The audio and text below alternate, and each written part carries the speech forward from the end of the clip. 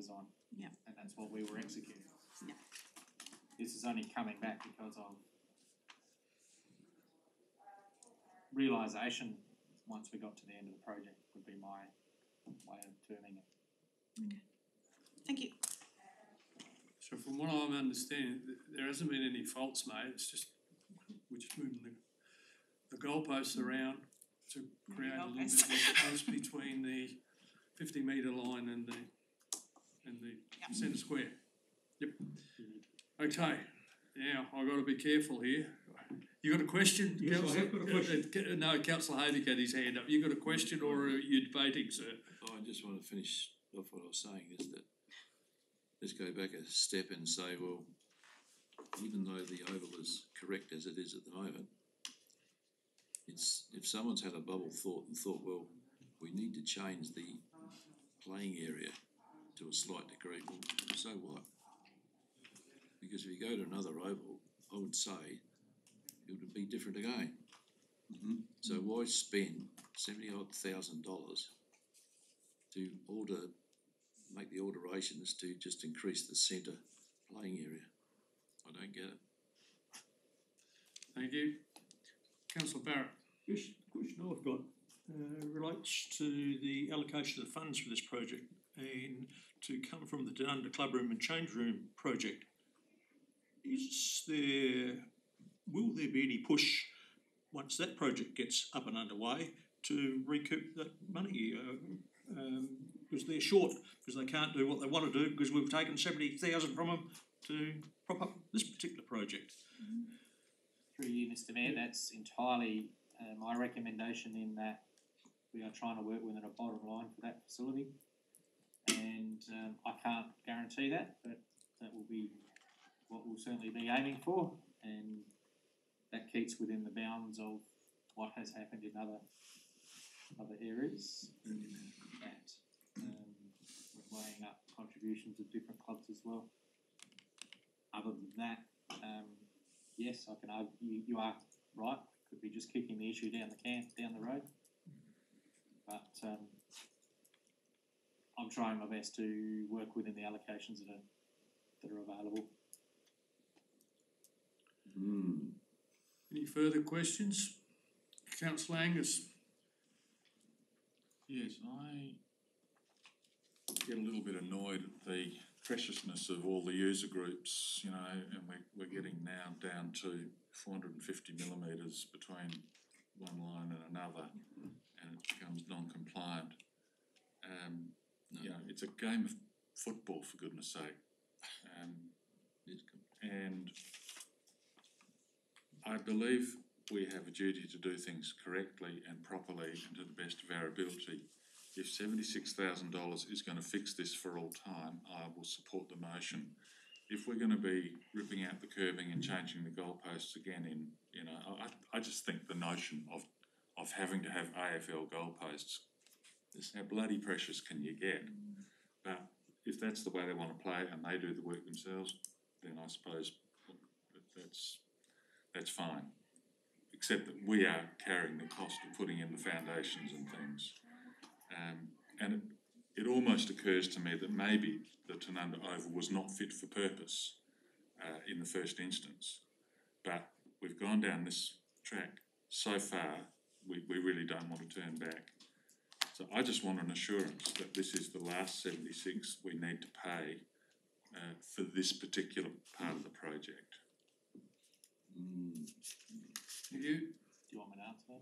Yes. Please. Through you, Mr Mayor, councillor Angas, no, I can't give you that because I don't know what next request is going to come. Okay. Any further questions, comments? Not, um, councillor De Vries, I'll let you close the debate. Oh, hang on, hang on, I, I'd like to speak now. sorry. Um, I don't think we've had quite a fulsome debate yet. We've had, um, a lot of questions here. I did ask. for questions. Um, I am mixed on this one here. I want to make sure that when we do a job, we do it properly. And if that's gonna cost us a bit more to do it properly, then so be it. Um, in this instance, I find it particularly frustrating that we're being asked to spend this money on less than half a metre extra turf.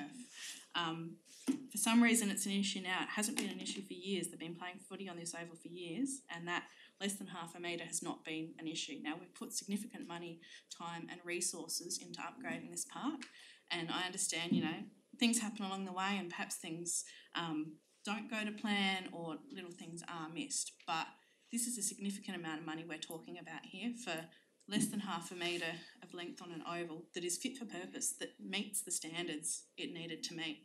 Um, to my mind, that money could be better spent elsewhere. Um, there are a lot of other little projects around the place that would really benefit from that money. Um, and as has been raised, you know, what does this then mean for the um, change rooms down down the track?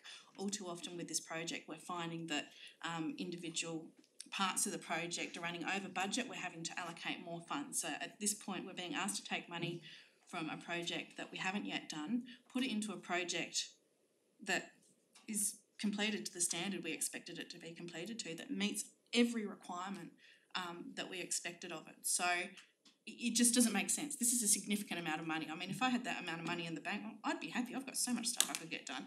And I can only see that ratepayers are going to look at this the same way. This is a lot of money for not much. It doesn't, you know, impact anything at the end of the day. It doesn't impact our ability to host AFL or SANFL games.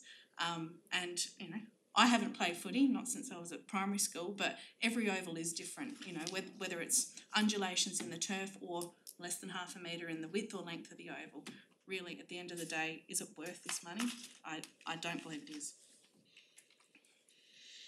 Um, before I go back to councillor De Vries, councillor Johnson, you haven't spoken. No, I'd just like to seek a clarification that we're allocating, reallocating funds from one area of the budget to another and that will, there'll be some pressure to value manage the remaining project. Is that correct? Thank you. It's not money that's coming out of ratepayers' money, it's coming out of already allocated funds. It is right. Which uh, is ratepayers' money. How to get. They're already allocated funds, it's not taking extra money. Thank you. Not yet.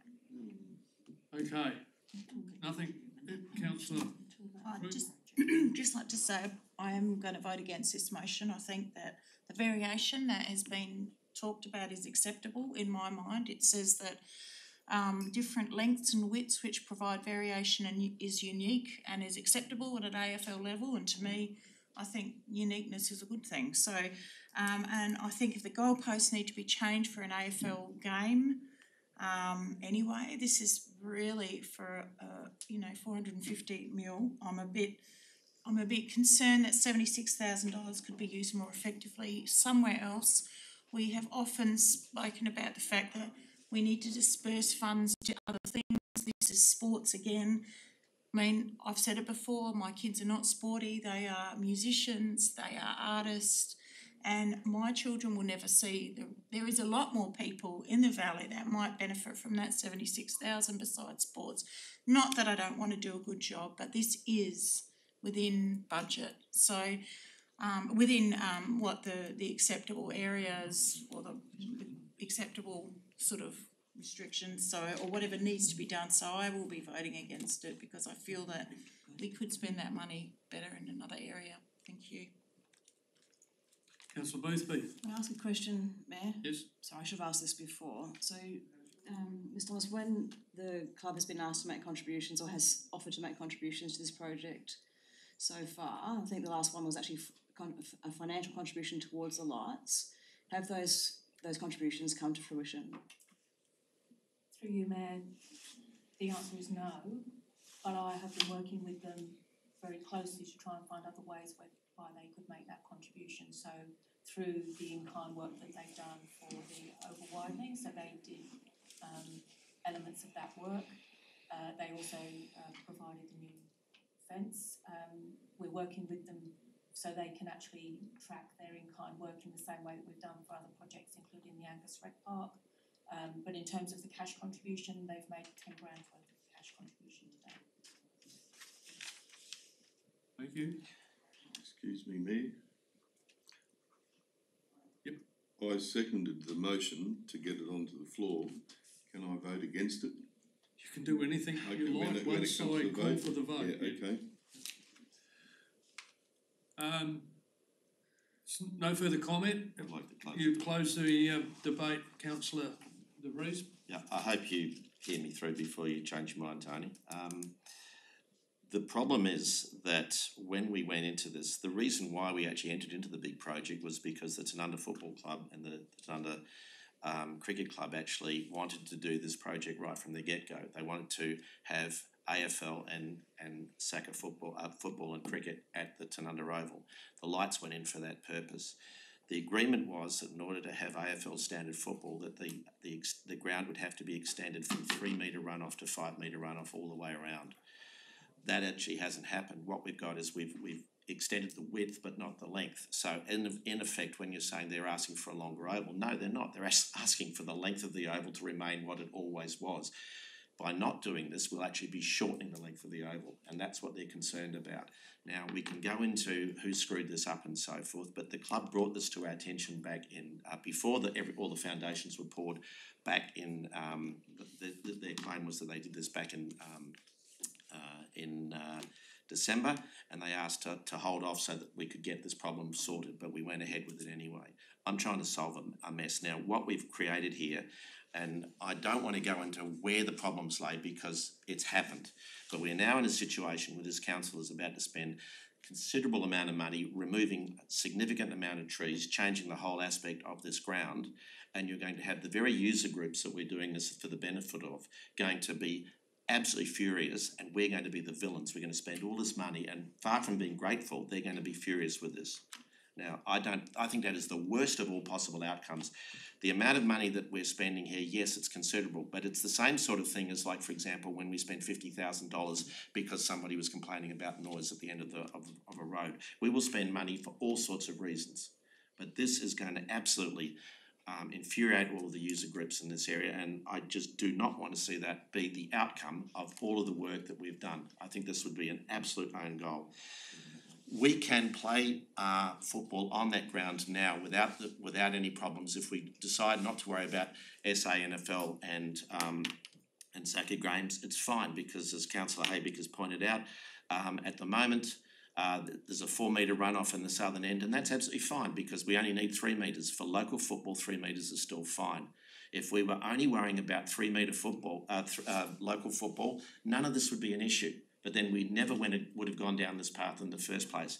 We didn't put those lights in for local football. We didn't put the extension of the grounds and ripping out um, I'd say half the trees, probably more like three quarters of the trees in Tanunda at the Tanunda ground for local football. It was to see have a much bigger picture. And what the club is concerned about is that when we are um, having games which potentially could be televised, games which are going to attract people to this area, we're going to have the ground where the centre square and the 50 metre arcs are virtually going to be touching. And they are very concerned about that, and they think that will be incredibly unprofessional, and that the and that will reflect poorly on them and poorly on the Barossa. Now we can get into the blame game of how we got there and whose stuff up it is, and so. And I promise you, if we do not support this, that blame game will absolutely be featured on the front page of the paper for the next three months. We better be sure that we're absolutely squeaky clean on this one because I actually think that there's been a little bit of fault all around. Now, again, I want to see this mess solved. I do not believe the amount of money is a, a significant amount.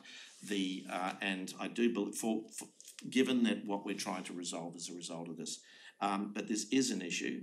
And to just say, oh no, it's fine, we've we've satisfied. No, we didn't. We promised that we would extend the ground by five metres all the way around. That isn't going to be the case. We're going to shorten the length of the ground and we will be owning that that decision. So I do hope you support this this um, and uh, yeah, I hope that we can then and as I said, I will be definitely putting my hand up to be on that representative representation group so that we can make sure that we don't have mistakes like this going forward. Thank you. Closes the debate. The um, recommendation is now the uh, motion for, so all those in favour?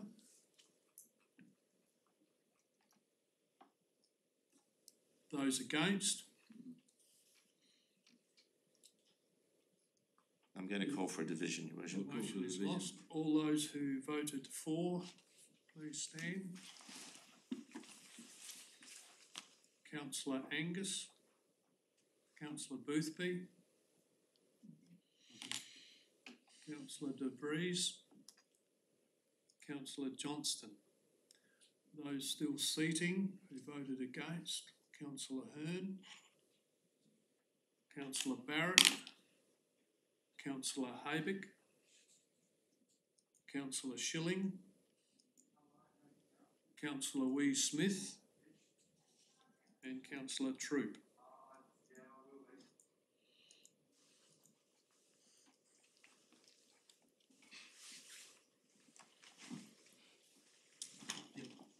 Thank you.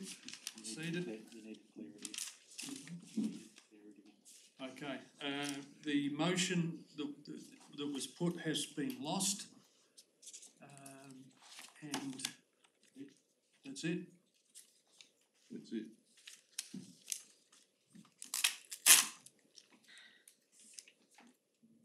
We'll move to the uh, next item on page ninety-four, seven point two point five, which is the Tanunda Recreational Park Advisory Committee.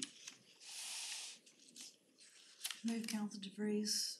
Moved councillor Boothby, seconded councillor Angas, and councillor De Vries has already stated that he's, Thank you. he's, he's happy to go on that committee. Either one wish to speak?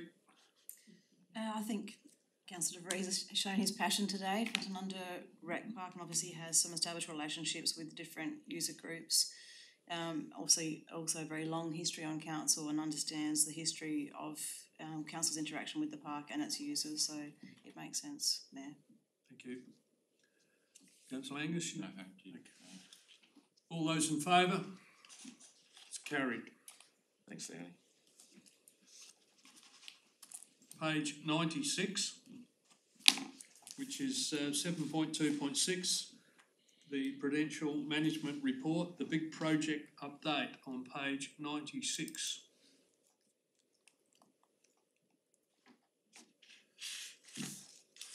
Any questions? Move the recommendation, Your Move councillor De Vries, seconded councillor Johnston. Either one wish to speak? No. No further comments? All those in favour? Carried. Next item is seven point two point seven, which is the Angaston dump request for purchase on page one forty-three. Move recommendation, Mayor. Move councillor Angas, seconded councillor I've got a question. Question, okay, I'll get a seconder. Councillor Boothby, either one wish to speak? Uh, I just concur with the report, it's too big a risk to, um, that's all I need to say. Um, Councillor Wiese-Smith, question slash comment, I'd like to see this brought to a workshop, just, um, for myself, I'm not particularly familiar with the conditions that lie around this piece of land. Um, and I think it would probably be to the benefit of the rest of the elected member body, um, particularly those newer to council, just to be familiarised with it. Um, yeah, don't have an issue with the recommendation, I'd just like to know a little bit more going forward. councillor De Vries. Yeah, the reason why we uh, currently send all our rubbish out of the Barossa is because this land was uh, discovered to be a problem. Um, and that we were actually told that in, in, unless we uh, closed it, and I think we were given a time limit, you remember, your worship, if, if we didn't close it within a certain amount of time, we would be required to, um, you know, fix the, fix the land up at significant cost. Um, so it's basically just sitting there as a, you know, um, yeah, there's no way that we could pass this land on in its current state, and uh, and as a result of that, I think it's just best left alone. just further to that, I understand that part of it. I think I'm looking more at the legislation and the land management agreement we've got over it. I think it would benefit us all to be familiarised with that. Um, obviously, the land's unusable at this point, but yeah, I think there's a bit more to it, so. No, yeah, and look, I'm very familiar with the closure of the process because back then there was going to be new legislation that was about to be passed and many local councils promptly closed a lot of their landfills because the requirements were gonna be extraordinary and the ongoing monitoring was gonna be a significant cost. Mm. So we, we did a closure plan, which was under the previous legislative requirements, but now it's a different ballgame. But I'm gonna throw to the CEO now because I think um, there is some risk involved. through you, Mayor Lang, I think what we're being asked is a general briefing on how environmental law works. No. Thank you. But yes, um, it, it fundamentally comes down to you can't, under new law, well, actually, the chart passed nearly a decade ago. Um, you, you can't contract out by selling the land or alienating the land from being a polluter of that land. That's the fundamental principle. Hmm. Councillor Johnston. Um, in addition to that question, I'm just curious to know whether, given what was dumped there, would it be an asset at some time in the future? We might need to mine it. Just a small throwaway comment, but it's a, just a thought. I wonder what got dumped there and um, is it likely to be an asset in the future that we shouldn't really alienate? Yeah, you never wanna dig up what's been buried. Might find oil. Because you, We can brief you on that. yeah. Yeah, we can talk about that. Councillor Barrett. No, Oh, sorry, scratching Just your nose. yawning. Uh, uh, He was yawning. Um, yes, That, uh, that dump could make a good gas deposit in Uh, future. Depends what's in it. it's a very small dump area. Yeah, okay. Yeah, Yeah, there, no, there wouldn't, no, you wouldn't get any return from it. Who, who moved that one? Uh, yeah, Count, uh, Councillor Angas. Councillor Angas, do you wish to close the debate on it? No, thank you, Mayor. Save and accept to say that councillor Wiese-Smith's um request for s- s- further information is quite justified. I do have the sort of knowledge from the previous years to know that we're better off to leave it alone. Um so, yeah, I hope you support the motion. Good grazing paddock. Mm. And that's even problematic, Mr. Oh, Mayor. okay. That's why I'd like to know some more, Yeah, the leachate. Yeah, just Now, leave it alone. I'm not too certain about that, but anyway. All right, I'll put the motion. All those in favour? Carried. Seven point four point one is the Santos Tour Down Under twenty twenty-three expression of interest on page one fifty-five. Now, there's a whole number of, I'd like to move B, your worship, and finish at Williamstown. can I ask a question first? yeah, yep, Um, I'm gonna ask the same question I ask every year on this one. We've got a good snapshot here on the economic benefits to South Australia. Um, I'm still interested in knowing exactly what the regional benefits are, um, to the Barossa when we support this. And it's probably a fruitless quest once again, but, um, you know, there's a lot of stats put forward there about social media reach, engagement, audience, etc. But I'd like to know, how does this actually benefit us on a local level? What sort of money is it putting into our local economy? Good question. well, you've asked the question, I haven't got the answer. I'm asking it. Yeah, okay. I'd like to second the motion, but Okay. just to question whether or not we would consider having a start and a finish, that's all. Just to get a sense of, I mean, I know it's difficult here, but um I note that in the past, so so just sort of Well, do you want me adding- to flesh out the motion? Well, I Because just of- want one, one thing to be made, uh, clear, that the eyeballs that we get from having TV cameras wandering around the Barossa is probably worth about twenty-five million, but that, you know, need to be assessed. So just the leverage that you get out of having a day's TV exposure in the Barossa is incalculable in, in, on Eurovision, uh, Eurosport in Europe. So what I'm, I'm kind of clear, trying to understand is if you only have a finish in Williamstown, there is a risk that we won't get that exposure, that's all. On the start and Perhaps finish, if I can speak to the motion, I Yeah, can yeah, fill look, in all of we, those. we, yeah. we need to tidy up the motion Yeah, first. okay, so the reason I wanna move uh the having the start, sorry, the finish and with finishing at uh Williamstown is that um on most matters uh to do with cycling, I naturally uh spoke to his worship because he's a keen cyclist and he's also uh um very well connected with Stuart O'Grady, who's the the the person who decides the course structures and their conversations have indicated that um they would like to see um or rather that uh Stuart was talking about actually starting somewhere like in Norwood and then coming up to the valley and then doing loops around the Williamstown um, and uh, Lyndoch area, and that we've seen that happen many times and is very very successful. This is an expression of interest, and if and if he was to come back and say, look, we'd like to just have the whole thing begin and end at Williamstown, or start at Lyndoch and end at Williamstown, or whatever, yeah, absolutely. Then you know, I'd be happy to modify it.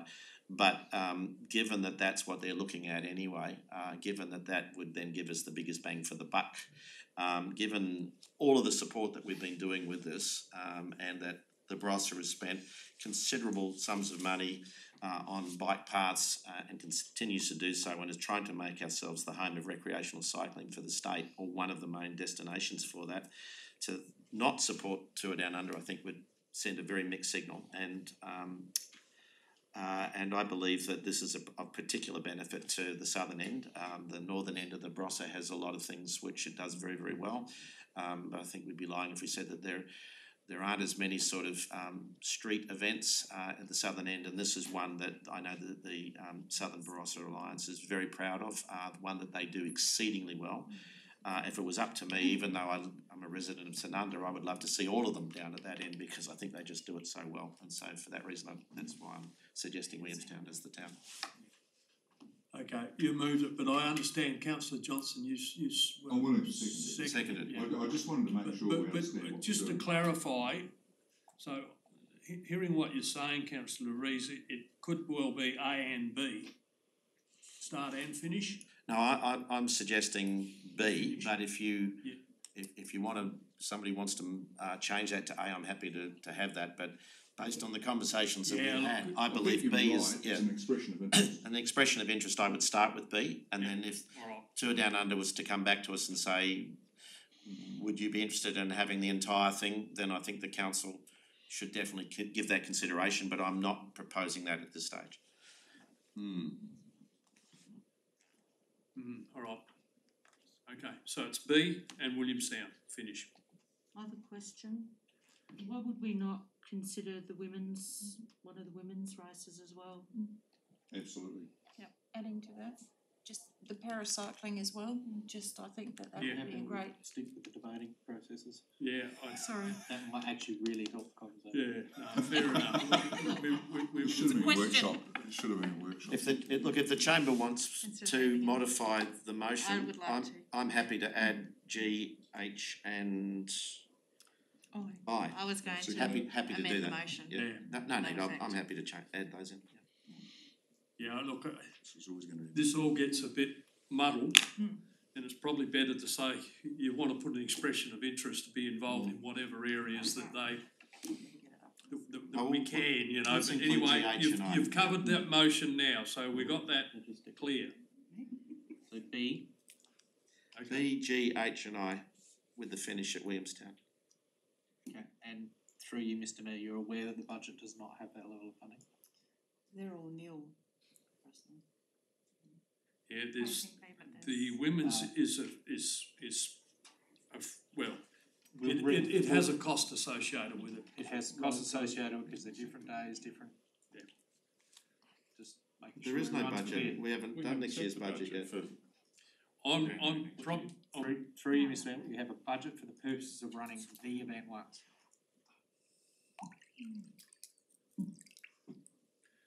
Not four events. It's an expression of interest. and Correct, and you can back out, I'm just giving you that heads Yeah, up. no, and that's just what I was gonna This is highlight, job. if, if they come back with the whole works and jerks, Then we we can can then go, well. decide where we're at. In the next budget. Or we need to. Okay, have we got the motion? B, G, H, and I.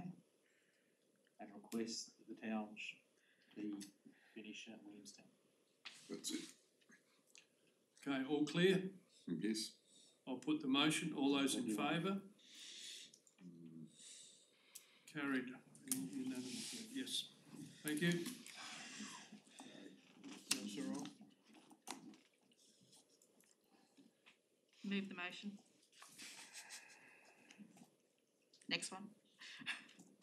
I'll second it. Ah, seven point four point two, page one seventy-four. Which one do you wanna move? One seventy-four. One or Yeah. two? One, Okay. clearly. So, uh, councillor Louise Smith, you're moving, uh, continue to support. support Yeah. for a further twelve months. Yep. Moved councillor Wiese-Smith, seconded councillor Johnston, speak. Um, yeah, this is a no-brainer. I don't know why we wouldn't support this one. Um, I just wanted to acknowledge the work of Ruby Stobart and Rachel Braunack with the Kind Hearted Kitchen. They've contributed so much to our community in the past few years since they started this up, um, and even through COVID. And I know it's been tough for them to do um, some of their cook-ups through COVID. And it's not only Ruby and Rachel; it's all the people in the community, those who go and volunteer in the kitchen to help cook up these meals, deliver the meals, um, those who donate produce from their backyards, whatever it may be, whatever people can donate to it. This is a real community effort, um, and yeah, as I said, it's a no-brainer. I don't know why we wouldn't support something like this. Councillor Johnson? Uh, no, I think, um, I endorse, uh, councillor West and, and the meals are distributed free of charge, which is, It's not a money raising No, exercise. not at all. okay, any further comments? All those in favour? Carried. Item seven point four point three on page one seventy-eight, which is the Mount Pleasant Progress Association request for a waiver of a licence agreement fees on page one seventy-eight. Um, councillor Wiese-Smith, Before you start, Mayor, just, thank you. I, uh, as alluded to in the report, I've got a conflict before we start any discussion on this, so I'll just highlight that and, uh, as the CEO has put in his report, so I will exit the chamber on this particular matter before we Okay. start. Sorry to inter- interject on that Councillor particular matter. Just a small pro- procedural problem. So the matter's not lifted from the table yet. I know, I've got to lift it. Got lifted. So Yep. once it's lifted, then the conflict takes place. Okay, yep. Mike, thank you. I'll move we lift the matter. Mayor, I'd like to um, suspend standing orders for ten Yeah, minutes, let, please. can we just get it lifted first and then I'll Well, deal before with- we lift it, I'd like to suspend standing orders There's to have a nothing to No, conversation. stand. no, we, It's not lifted. I, I can't yet, Still have- so You've gotta lift it from the table. I've got to lift it Okay. first. Moved councillor Johnston, seconded councillor De Vries, all those in favour to lift it? Okay, and before we go any further, councillor I'll Barrett, declare a conflict as uh, highlighted by the CEO in his uh, report, um, and I will exit the chamber. councillor Wiese-Smith, you have requested that we suspend Yeah. Standing orders, please, for a few Meeting minutes to procedure, do it. yeah. So suspend the formal meeting procedures for Just so we can have an informal discussion for, yeah, say fifteen minutes so we're covered. second that. And seconded councillor Boothby. All those in favour that for fifteen minutes we suspend, okay. Hang on, slow down. And do we have to turn that off? Now, if we, sus- if we're suspending formal. Yeah. We have to turn. No. Thanks. Yeah, because his conflict is still attached. Okay, Ben, do we still, do we turn the camera off? Confidential. Not confidential, No. Oh, okay. okay. just Um, make sure you say the right things. Councillor Wiese-Smith, yeah, I, the reason I wanted to suspend standing orders for this is because I think it's worthy of a conversation. Um, to be fair, I was quite surprised to see this item on the agenda at this meeting, um, after the brief discussion we had at the last workshop, and I know not all members were there. Um, but I felt that there was a general agreement at the last workshop that we needed to work on the policy. Now, I understand in both of the recommendations here, it looks to work on the policy, but I'm concerned that there's no clear timeframes on that. Um, and my major concern stems from the fact that we've had this discussion discussion on numerous occasions with numerous other groups in the past, and we still haven't worked on the policy. Um, I have real hesitations in making a decision on this particular matter today without having done that work. Personally, I'd prefer to see this lay on the table and, you know, free as any other request for waiver, whatever it may be, that's perfectly reasonable. But I think the work on this policy is really quite critical and we need to get it done. And a time frame of twelve months is not acceptable in my opinion, nor is not having a time frame on there. Um, I know that there are other policies about the place, about South Australia. Um, I've heard of a few good ones um, from other people that we could be looking at, and I think we really need to make a concerted effort to move on this policy um, rather than sidelining it again. Yeah, CEO, Just to clarify, and the then the council gave the expectation it would deal with the issue in April, that's why it's here. Okay, I might have missed that. my service was in and out, so. Uh, councillor Boothby, I think you had your hand up. Thanks, Mayor. Um, so I, I apologise, I did miss the, the workshops. I have not got that most recent continuity of discussion, but I guess I, where I, I have some concerns around this too in terms of equity of approach. So we have just approved a waiver for a community group that does good work. We're starting to differentiate now between different community groups and how much we benefit them, how much we value them. Um, so I think we're getting into some tricky ground there in terms of consistency of approach. As I, as I did, when, the, when this came to the chamber um, last time as well, I think you know, when I worked for council, which is going back 10 years ago, this is, we were still talking about this. So part of the challenge with the previous council, my first term of council was as well, and again, this is, please not meant to be, this is a without prejudice comment, hopefully, um, we lacked courage. You know, we actually have to support the staff. When we have a policy, it's got to be a sound policy that's reasonable for lessees and licensees, is reasonable for the rest of the community who, as a collective, own these assets, and it has to be a balanced approach. We can't please everybody. So there's not going to be a policy that manages our risk actually has a, a reasonableness in terms of if you have 100% use of a facility, then you have to pay for that in some way, shape, or form. We have to have courage as a council to stand behind the staff as long as the policy is reasonable. So that's what hasn't happened, in my opinion, in my eight years on council, is that we as elected members haven't had the courage to actually help the staff get us the right policy. We have to nail this you know, sooner rather than later. And I agree, 12 months is too long. So to, to be fair to groups like this who only exist to do good work that supports council in its work, I just think we're on dangerous ground at the moment. And just, councillor De Vries? Yeah, um, I think twelve months, yeah, it sounds like a long time, but we're going into, again, uh, we're going into a, a caretaker mode, uh, in, I think it's August, September. Uh, we would have to nail it before then. I don't think we're gonna get this done in that amount of time based on the past. So while I recognise that twelve months seems like a long time, in practical political reality, it's gonna take at least that. This is not an easy thing to do as well. Uh, I agree with you. It takes courage and it also requires members of the community and we've spoken about this before, Councillor Boothby, that I think the best option is that we recognise that there is going to be favouritism based on legacy, and I think the fairest thing, and I think this is what um, Ms Tappert was going to do, was bring to us the work that had been done, where we could actually say, okay, this is how much you pay, this is how much you're being subsidised, and so at least then everybody understands, because everybody seems to think that they're contributing a lot and getting very little back. And when you actually cut through all of that, it's actually often the people who feel they're being the hardest done by that are often the ones who are getting the greatest benefits. Um, we start to get into issues of who can afford to pay. We start to get into issues of the age of the people and the types of activity. Some groups show up, you know, do their karate and then go home, and then there are others actually show up and then they fix the walls and paint the, you know, the windows and actually put value into the facility itself. And so they don't expect to pay the same amount for that the use of that facility because they're putting in in kind support rather than just showing up paying their, their dollars and leaving.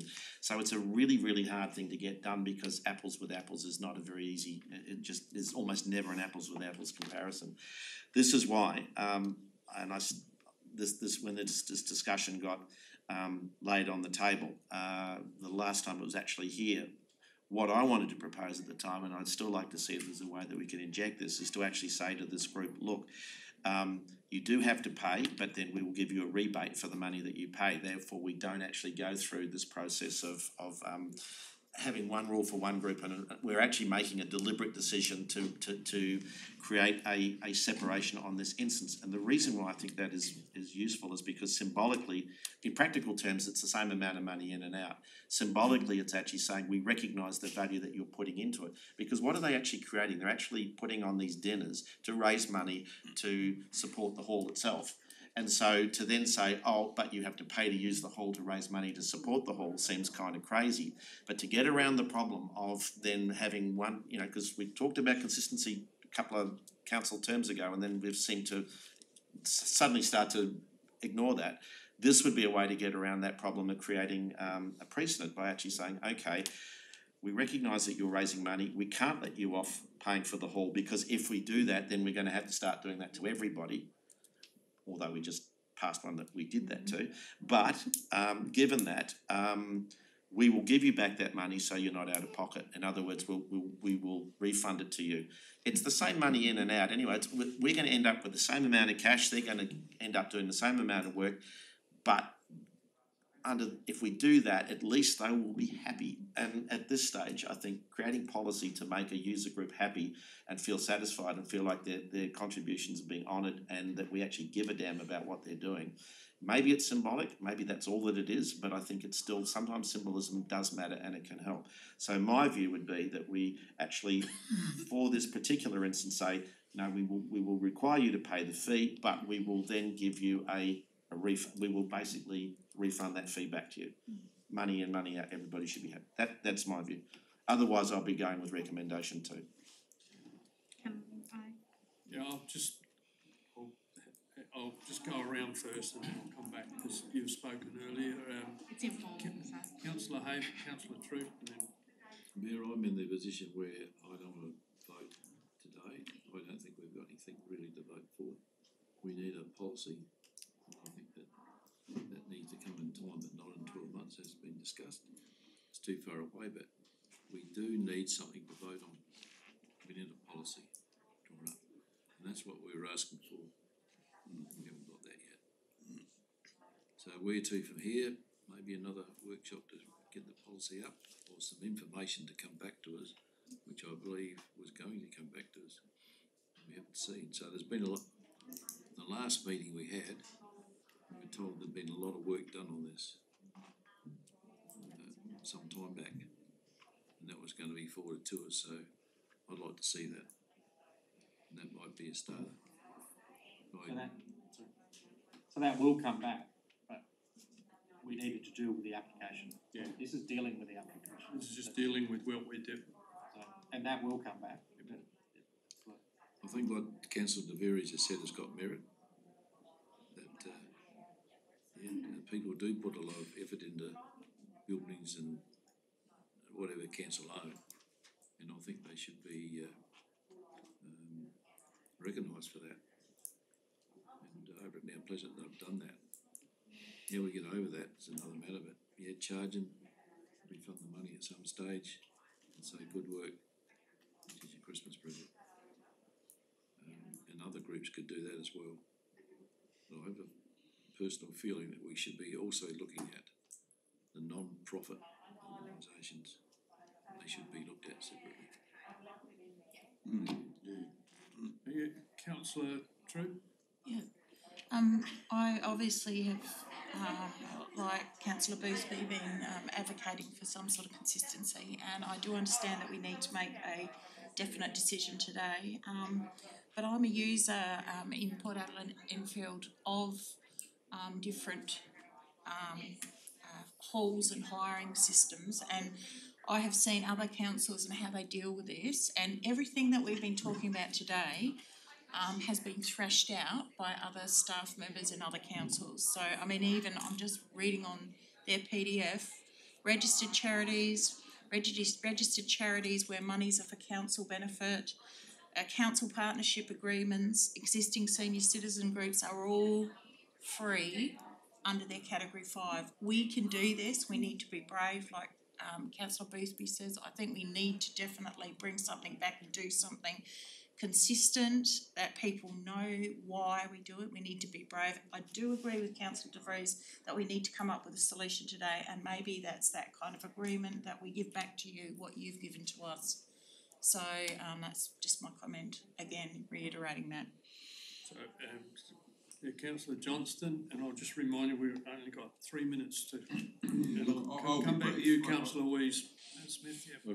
I- I'll be brief. We were given a spreadsheet at the workshop that clearly showed that there are a number of groups in Mount Pleasant who get access to facilities for a peppercorn rental of a dollar a year. And so the problem when you're trying to implement consistency is that they will be losers because they may well end up having to pay a licensing fee that they've never paid. And that's when the th- whole thing starts to become sort of like an acrimonious debate because there will be winners and losers in this particular thing. I support what you're suggesting because um, a number of these groups are not registered charities, they're not for profits, but they're not registered charities, and that's a whole other animal. This thing that we've just supported is not a registered charity, but it is in effect doing charitable work where it's not making a profit. Not for profits make a profit, it just can't be redistributed. I'm done. Yeah, because I, I agree with all the comments that have been paid, but I, I don't really want to make a decision today. Um, so which part do we leave out and what do we include? Um, so it, it is a bit tricky and, and I agree with the refund that councillor De Vries uh, said if we can do that, whether that's legal or not, I don't know.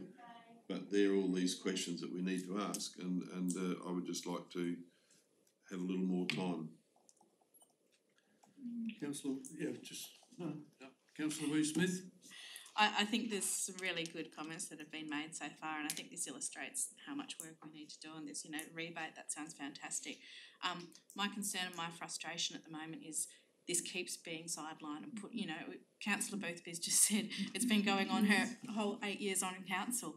We've only got until November left here. I don't want to see this shelved and it won't be dealt with. The next council will, you know, sit there maybe for three or four years before they go, hey, we need to do something about this again.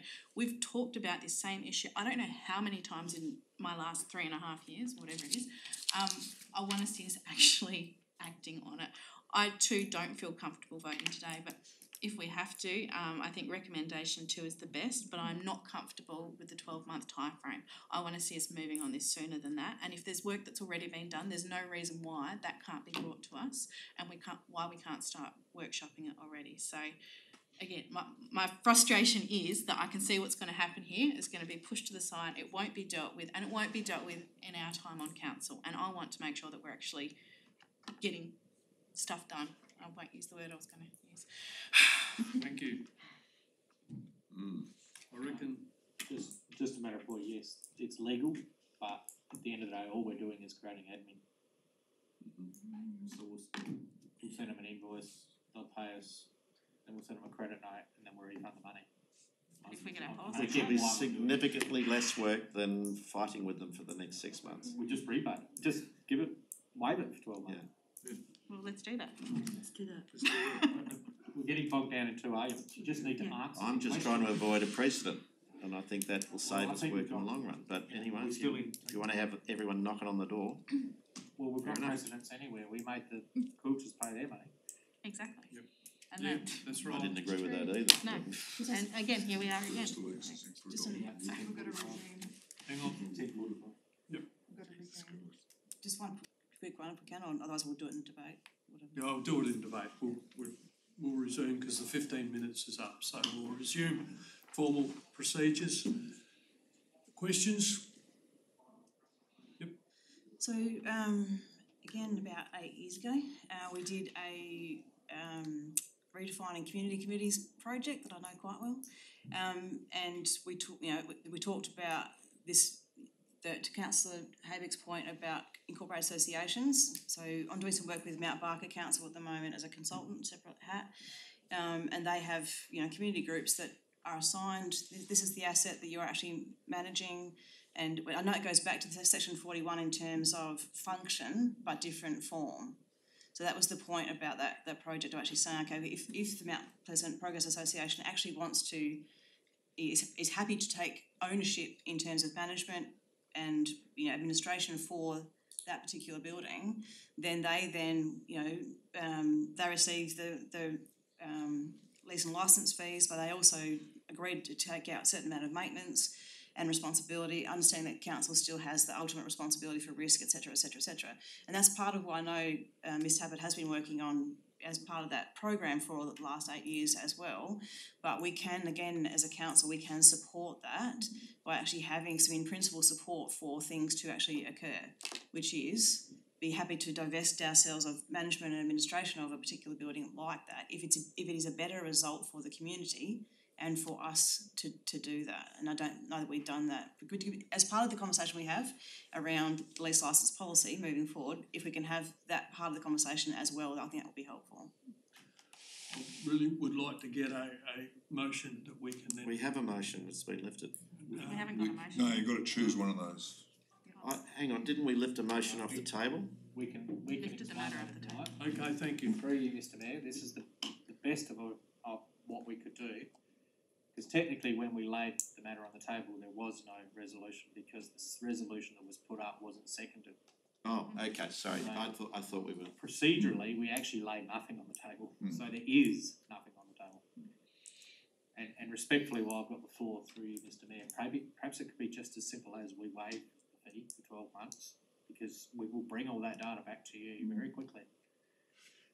That's the easy way. Who wants to move that Uh, one? councillor Wiese-Smith, you wanting to put a motion on the lead? Yes, I'm happy to move recommendation two, but I'd just like us to workshop it a little bit to ensure that we are getting some work done sooner rather than later. I don't want to see this put to the side for twelve months, I'd like to see something come back to a workshop sooner than that. As I said, if there's been work that's already been done, um, so we need to get started on this. We'll give you what we've got in the April workshop. We'll just do a long April Can- workshop, that's all. Can we include a waiver for twelve I'll- months I'll in that wait. motion? I wanna make an amendment, but I'll have to wait for that to be seconded. Yeah, okay. So councillor Wiese-Smith, you're, you're moving a motion, a recommendation two, Recommendation two, yeah, so And- we're freezing.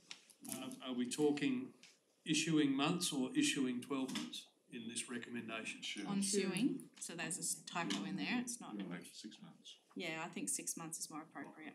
So So Can on we- suing, six months, Six we need months, that okay. Mayor, can we include in there that we, wa- as Um, CEO said, that we could let's, let's let councillor Wiese move her motion and we'll So I'll go move that from motion there. because o- obviously then we're letting the group know that um their fees are due now, but pending what happens with the policy, the discussions we do around that, um their fees may be waived or we'll provide a rebate once we've had this discussion. So we have effectively made a decision today, um but we're also making a decision later and letting them know that. Happy to second that. Seconded. Seconded by councillor Boothby, and I think you've already probably spoken to it. Oh, I mean, yeah, just to, as I said, so I've explained there, I think this is a happy, well, not necessarily happy compromise, but it's a good compromise. Um, because we aren't leaving this matter in limbo in terms of what we're expecting from the group, we're asking them to pay. Um, but we're letting them know quite clearly that we're working on this, and when we do reach a decision, um, if they're eligible for a waiver or for a rebate, we'll make sure that they get that one there. Um, and I do hope that we can get this work done sooner rather than later.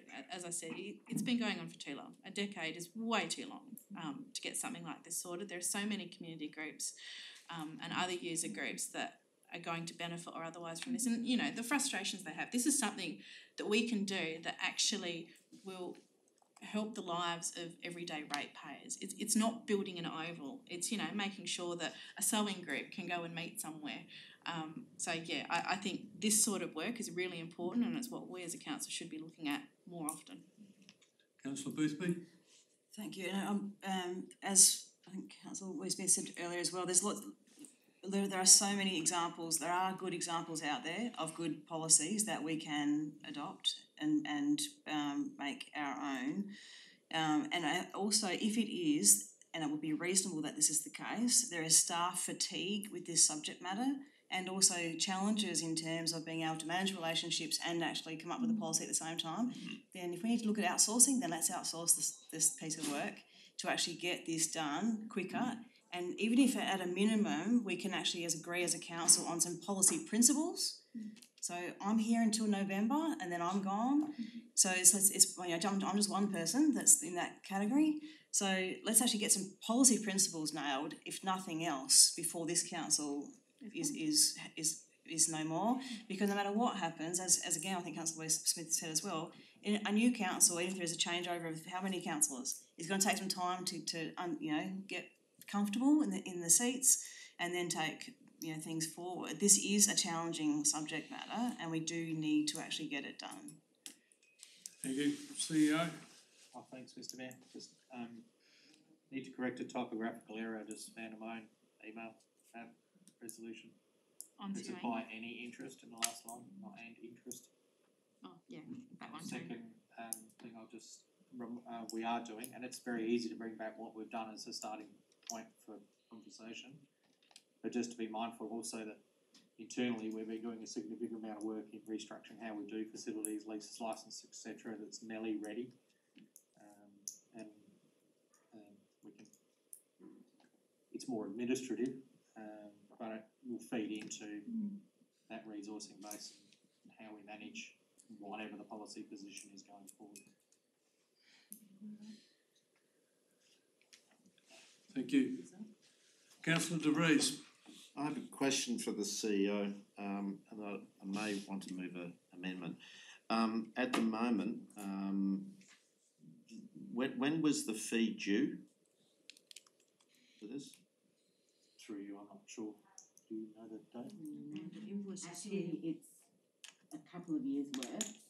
Um, la- early last year was when the first invoice was um given for this So they're, they're, one. they're not willing to pay, They're not paying, no, no, no, no, no. okay? Didn't it say So- four years of waivers? So what we are doing, this is the question of the CEO, so what we're doing with this recommendation is we're what, turning a blind eye? What, what, I mean, the staff have been, the reason this came to us was because the staff wanted us to s- give support, which we all committed to on Zoom or whatever, you know, back in, I think it was November. Um, that we would support the staff chasing down things like this and, and getting people to pay.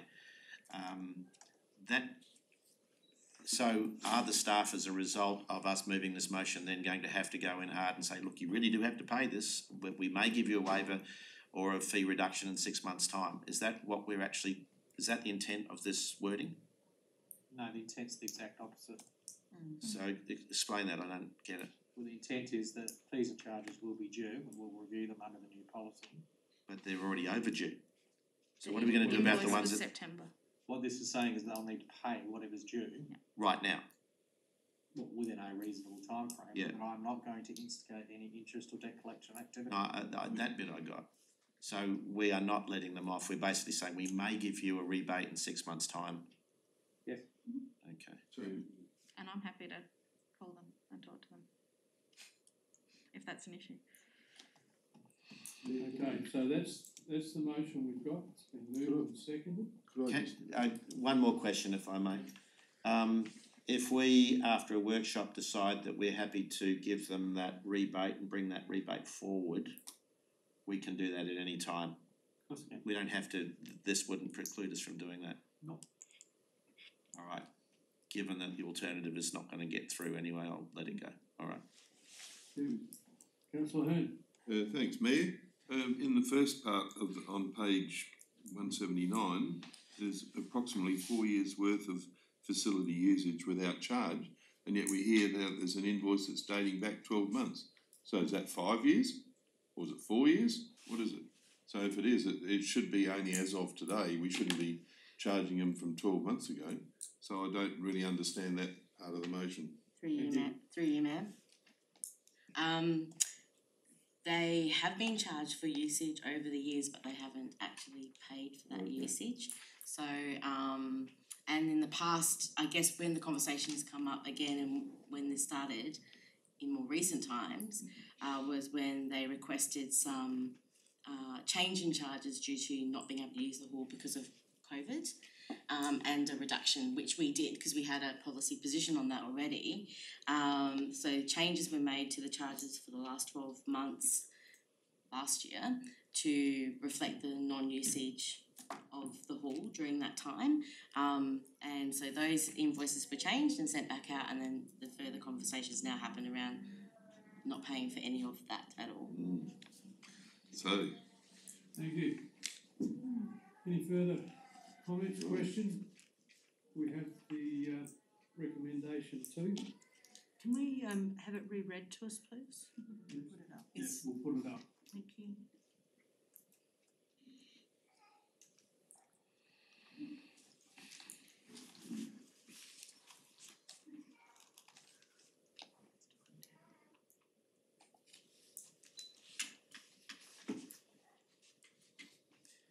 While we're waiting, um a question for the CEO if I may, your worship. Yep. Um this was allowed to lay on the table without being seconded, is that even possible? Can you do that? Technically, the answer to that's no. No. It was moving if everybody remembers that one, it was an interesting debate. Yeah, and I missed it. How, how could we have even had a debate without a seconder? You, you, We didn't. you weren't, you were having a whole pile of conversation. Then there was a mover of a motion with no seconder, and then it immediately laid on the table.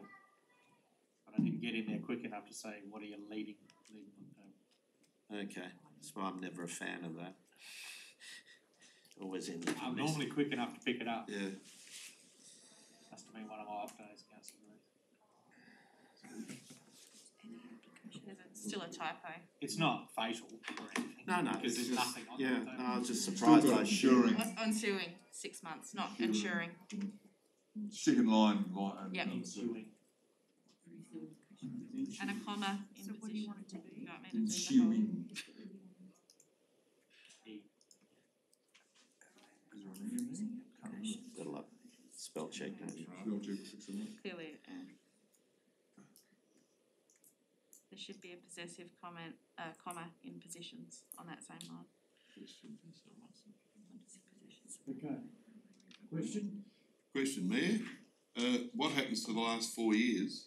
If, if, uh, Whatever is due and Before the payable, S. I'll be asked so if, pay. what happens if they don't pay for it because of all the things that Before they've S. done and because of all the Position. previous motions that we did today with a group, they're what putting you've done. stuff back, but what, what- Well, normally I shut my mouth, but If you, if you read, if you read them together, it logically does no damage, because I won't be pursuing anything even if they don't pay. Get my drift? yeah, So we will ask them to pay, but if they don't pay, That's just me. we'll sort out the policy and go from there. okay. And it seems as though they won't because it hasn't happened in four years, so I'm just wondering whether we're, we're, I agree with what's happening, but um, you know, they're pretty stubborn in their own way, so that's what I'm trying to. Anyway, we've got this motion before you now, so Well, that was relate, yeah, yep, I think, the- I think the CEO's answered the yeah, question. okay, thanks, CEO. Just one question. Any further comment? Now, um, councillor Weiss, Fine. any more? Just a quick question, just, would, is it, would the staff be uncomfortable about, uh, of actually, um, communicating this to the, the stakeholders, or do they need our support in that? We'll communicate everything all right. like any other decision. Okay, that's fine, thank you. I think there's a more tougher communication in those resolutions today than this one. Councillor Wiese-Smith, you wanna close the debate? Yeah, I mean, I think I've said everything I wanted to say several times. Um, as I said, I don't necessarily want to make a decision on this today, but we need to provide staff with some direction. Um, but I do really want to make sure that we get cracking on this policy and get something in black and white before November.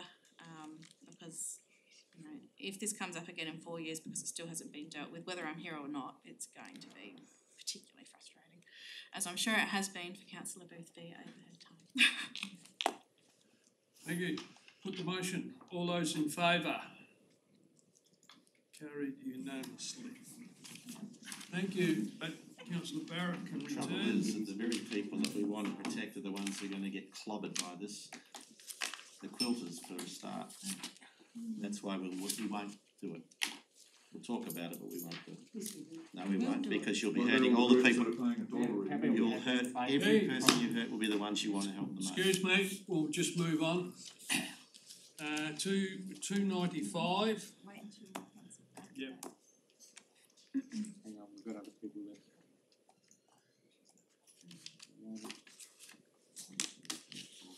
Yeah, we got it.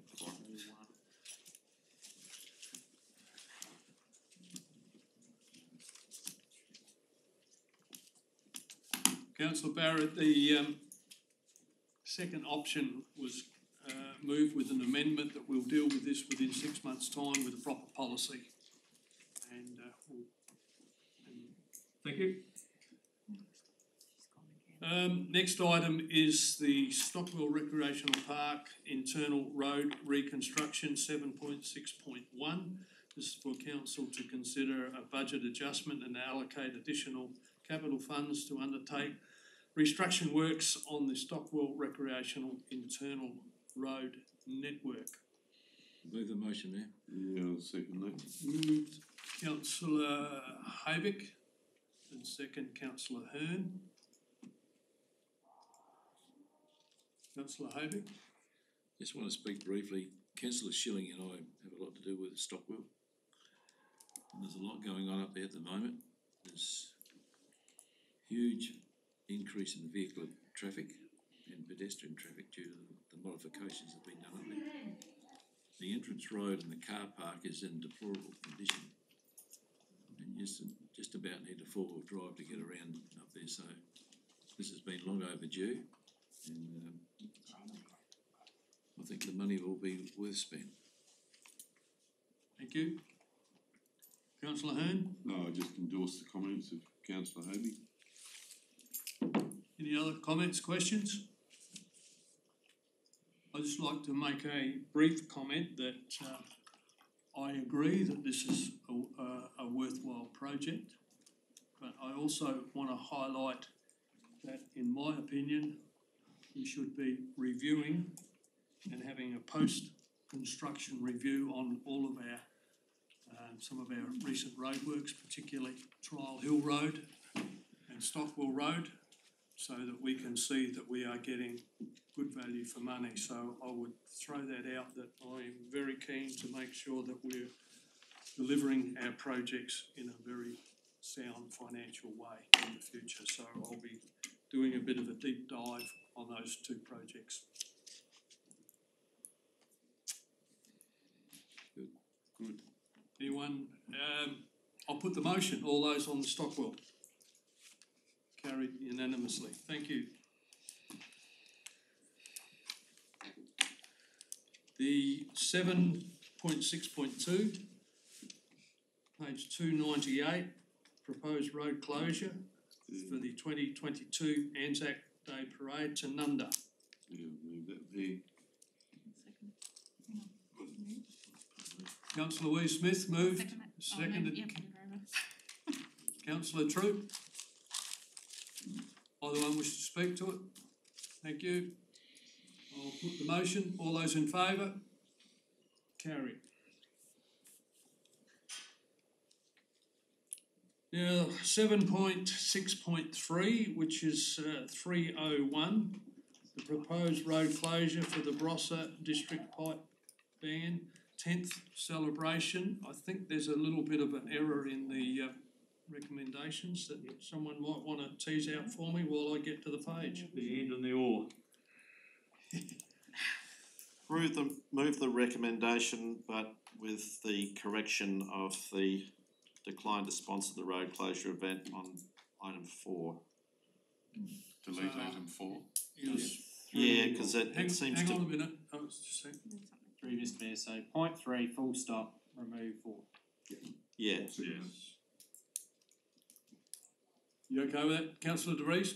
yeah, Full, full stop. we spoke about this, uh, Yeah, yeah, there's right. obviously a, a, there was a typo somewhere, or a, a mixed signal somewhere, but yeah, the intent is to support it clearly, yeah. And uh, seconded councillor Johnston.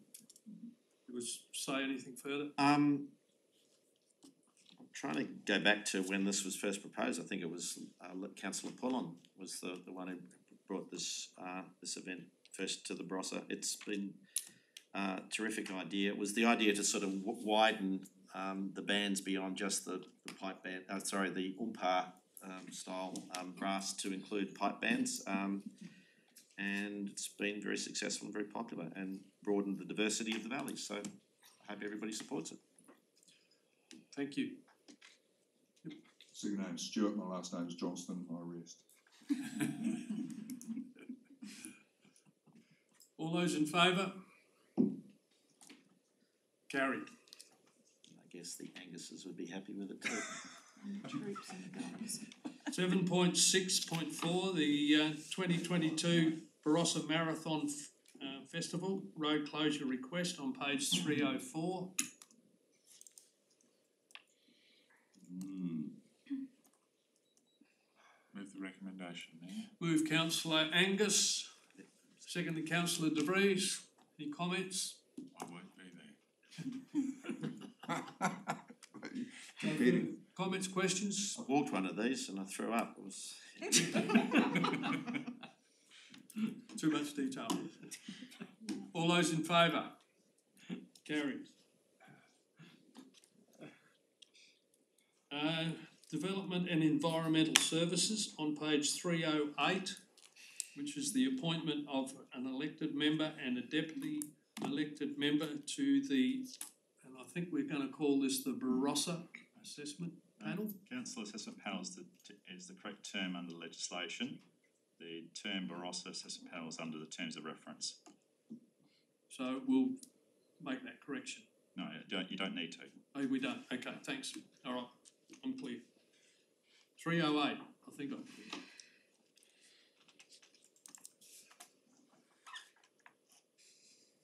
Mayor, I'll uh, nominate councillor Johnston again as the uh, elected mayor, elected member representative, and I'd be looking for a volunteer for the deputy.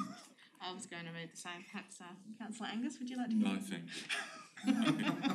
Thank We you, might- but We might have a volunteer. I'll put my hand up, Mayor, as the volunteer. Thank you. Councillor Haebich, so count, I'm happy to councillor. Angas, you're happy to move councillor Johnston and councillor Yes. Haebich as the deputy. And I'll second that. And seconded councillor Wiese. Smith. We need to, My grandfather hasn't been here for a while. we have a conflict of interest now. Well, Is there a conflict of interest there? They don't get paid in. You don't get money. No, okay. I'll put the motion, all those in favour? Carry. No. you said you're a volunteer, Yeah, Yeah, I, I thought there was something I didn't know. You just waved it. Page 318. The uh, Gawler River Flood Management Authority Notice of Annual Business Plan and Draft Budget 2022 2023, 7.7.2.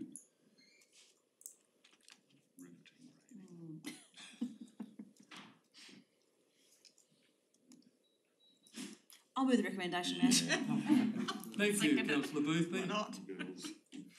Second. Seconded councillor Troup. I, I'd just like to make a comment and acknowledge the significant reduction in our fees for the year of nine hundred and fifty-five dollars. Good to see we're saving some money. Yeah. Thank you. Um, would you wish to speak? Second it? No. All those in favour? Carried. I hate to uh, disappoint you, councillor Smith, it's only a draft, I'll go up again. Probably, but at, at this point in time, we've got an extra grand in the bank. Um, seven point seven point three on page three forty-three is the consideration adoption of committee resolutions Barossa Bush Gardens. Page three four three. I'll move the recommendation. Moved councillor Wiese-Smith, seconded councillor Barrett. Either one wish to speak? Any comments? All those in favour? Carried.